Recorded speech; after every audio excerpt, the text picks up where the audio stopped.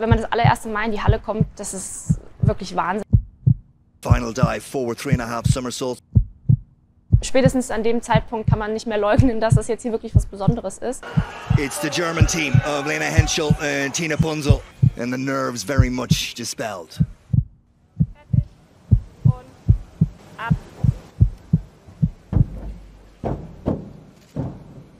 Genau, also wir haben unser Programm so aufgebaut, dass am Anfang die zwei Pflichtsprünge sind. Das sind die einfachen Sprünge, wo es eben wirklich um die exakte Synchronität geht. Und dann kommen drei Kürsprünge, also mit vielen Drehungen, mit Schrauben. Also die entscheidenden Sprünge sind die drei Kürsprünge. Und der eigentliche Knackpunkt, sage ich mal, oder Schlüsselsprung in der Serie war der dreieinhalb Salto vorwärts. Das ist der schwerste Sprung, den wir machen und wir haben den bewusst dann auch zum Schluss ähm, ins Programm genommen, weil wir gesagt haben, okay, das ist so alles oder nichts. Ähm, da können wir wirklich nochmal angreifen. Just looking to see the Italians have got a three Also so, dass also der dreieinhalb vorwärts für die Frauen auch gehechtet, sprich mit gestreckten Beinen im Bereich des Möglichen ist, beziehungsweise auch dazu führt, wer den beherrscht, dass er also dort auch um die Medaillen mitspringen kann. Der hat Schwierigkeitsgrad von 3,1 und ja, der ist einer der schwersten. Ich glaube, das ist auch immer so ein bisschen tagesformabhängig, welchen Sprung man aktuell irgendwie am liebsten mag. Aber so insgesamt ist es auch der einzige Sprung mit dreieinhalb Drehungen vom Brett. Ähm, von daher ist das so der, der schwerste Sprung meiner Serie. Den bin ich selber auch gesprungen. Und soweit ich mich erinnere, aber erst in der offenen Klasse. Also von Tina weiß ich das und auch von Lena, die sind den in der Jugend schon gesprungen. Also insofern ist die Entwicklung schon ein ganzes Stück nach vorn gegangen. Bedingt sicherlich auch dadurch, dass die Bretter sich verändert haben. Die sind also heute wesentlich dynamischer als zu den Zeiten, wo ich es noch in Erfahrung habe. Und es haben sich auch bestimmte Sprungtechniken geändert. Also der Anlauf zum Beispiel, der Anlauf, den Tina heute springt oder die meisten Jugendlichen auch schon, ist ein sogenannter eingesprungener Anlauf. Das heißt, die kommen mit einer größeren Sprunghöhe in den Sprungschritt und können natürlich dadurch dann am Ende auch ein bisschen höher rausspringen als aus einem normalen Stemmschritt, den wir früher praktiziert haben. Grundsätzlich hat sich die Trainingsmethodik auch noch dahin geändert, dass wir früher zum Beispiel Rückwärtssprünge, ob das jetzt rückwärts ist oder Delfin, nur aus dem Stand trainiert haben, weil es die auch nur im Wettkampf aus dem Stand gab.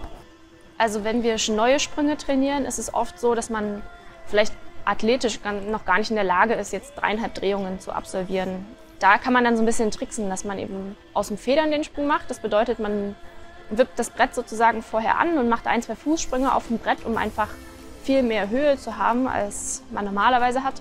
Sodass zweieinhalb Sprünge oder auch anderthalbfache Sprünge eher möglich sind, weil aus den Federn ist es halt leichter, weil man höher springt und demzufolge auch ein bisschen mehr Zeit hat. Und dadurch dann eben auch schon einen dreieinhalbfachen Sprung zu probieren und einfach schon mal zu trainieren. Und wenn man dann ja, einfach sich ein bisschen wohler fühlt und die Athletik dazu kommt, dann ist es gar nicht mehr so schwer, den Sprung dann auch tatsächlich im Wettkampf zu zeigen. Wenn man die nur aus dem Stand trainieren würde, dann müsst, könnte man erst später einsteigen, wenn die körperlichen Voraussetzungen dafür da sind diese Sprünge auch zu schaffen, rumzukommen. Ne? Ob von 1 Meter oder von 3 Meter, das ist dann schon ein Unterschied. Ob ich 50 cm Sprunghöhe habe aus dem Stand oder ob ich aus 1,20 Meter Sprunghöhe komme und den Sprung dadurch unter leichteren Bedingungen eher schaffe. Ja, insofern kann man also Sprünge eher lernen heutzutage, als sie dann tatsächlich wettkampfreif sind, was natürlich wieder die Folge hat, dass man auch eher na, höhere Schwierigkeiten lernen kann. Well, they knew they had with Henschel and Bei den Frauen muss man sagen, in den letzten acht bis zehn Jahren gibt es also doch immer mehr Frauen, die diesen dreieinhalb Salto vorwärts gehechtet als Standard-Kürsprung haben. Die Frage ist, inwieweit diese Entwicklung noch fortzusetzen ist.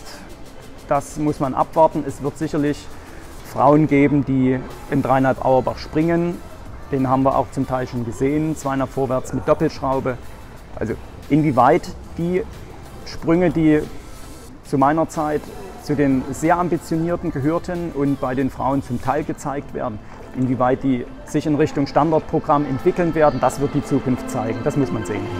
Yeah, they're absolutely amazing when it comes to the diving